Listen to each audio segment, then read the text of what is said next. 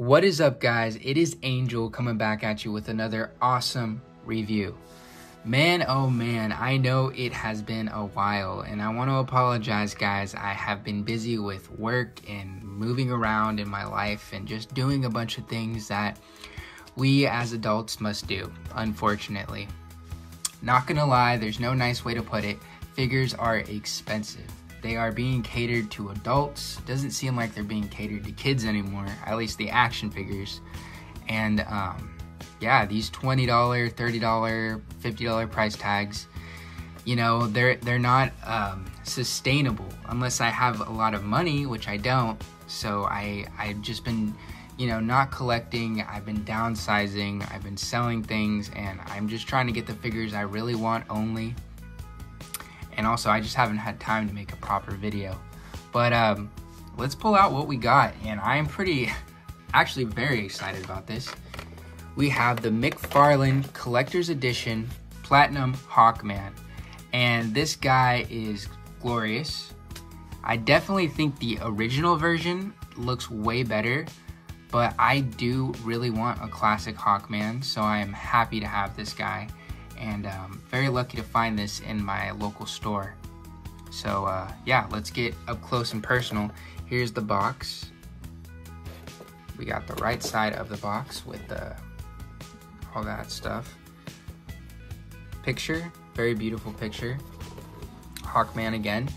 And uh, yeah, here he is. Anyways, you know the drill. I know it's been a while since I made a video, but let's go ahead and crack this thing open.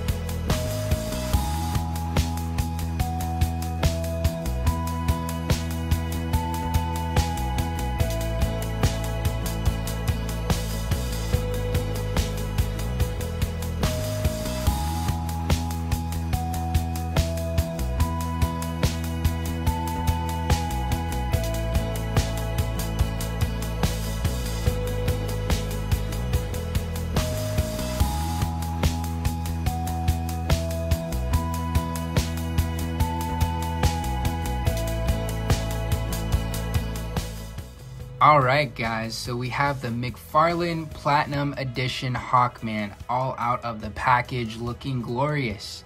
This is a rather unfortunate situation because this is the OG classic Hawkman we've all been waiting for and he's a Platinum Edition. He's a chase. You have to find him, you have to put in work, you have to enter raffles or you might have to pay over retail on eBay because somebody wants to resell it for triple, quadruple the price. So that is unfortunate. But I think on the other hand, don't hold your breath, guys, because McFarlane's going to take this opportunity and make a, a better version of the classic Hawkman. I mean, we all know that's going to happen. It's just, it sucks that we have to wait still. But I think this guy is pretty, pretty cool. It sucks that the original version of this character, or at least this action figure, has chest hair. So I don't know why they chose to not give him the chest hair. Maybe it's a budget thing, but I don't really notice it that much. It just sucks because his chest is all textured. You can see this better in the close-up. And it just kind of looks like he was a burnt victim or he got into some fights and now he has a bunch of scarring. Maybe some veins, I guess you could say. He has some nice veiny muscles and then his head sculpt is freaking fantastic. Look at that. That is great. His wings have some paint on them, which is awesome. I love his mace, by the way. Nice silver color. And then, yeah, all around the figure is pretty sweet. He isn't the 100% accurate version of Hawkman, though. Hawkman does not have these gauntlets, or I don't think he has these gloves either. And he doesn't have this long hair. So, you know, guys, don't get too upset. This isn't the best, I mean, interpretation of Hawkman, but it's definitely a nice one. And then, yeah, accessories, he comes with this awesome mace and this card and this stand. And I understand McFarlane wants to make it feel premium. Here's the bio, by the way. But I would rather get a comic book because there are kids. When I started collecting figures, I was about 13 and I didn't know who any of these characters were. But these comic books help us get a better, what's the word, emotional connection. Like these bios are cool, but like these these kids aren't gonna read these. I mean, neither neither as adult collectors. I don't really care for these cards. I mean, unless you collect cards, but I don't really care for them. And then obviously it comes with a standard stand. But um, yeah, enough of the jibber jabber. Let's go ahead and see what the articulation is about. Go ahead and take them off the stand. So McFarlane has definitely been doing a better job with the articulation. The head looks up pretty okay. I mean, the hair definitely blocks it. Leans side to side fairly well. I mean, he's got a big hawk mask on. Looks down really well.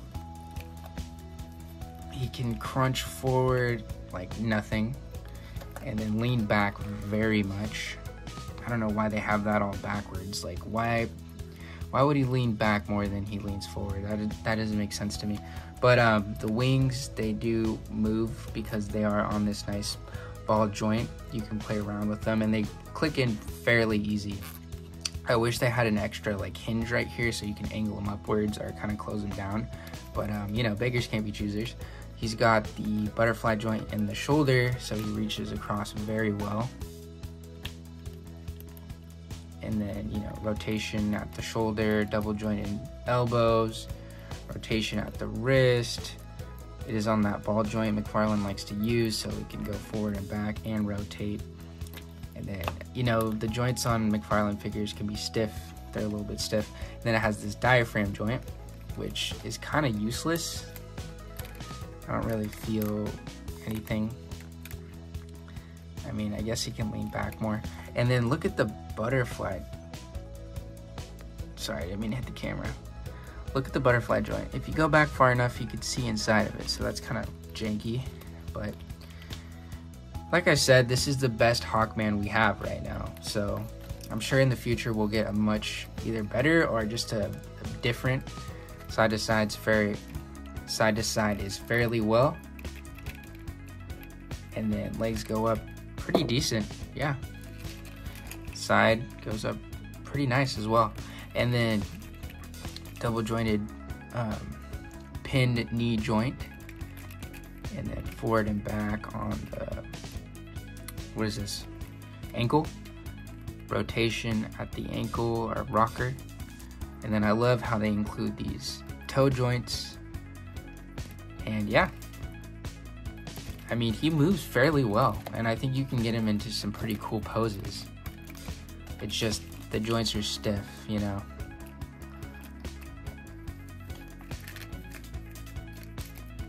So, pretty fun. I definitely think he's fun. Let's go ahead and get him posed up with some other figures and you can see what he looks like in your display.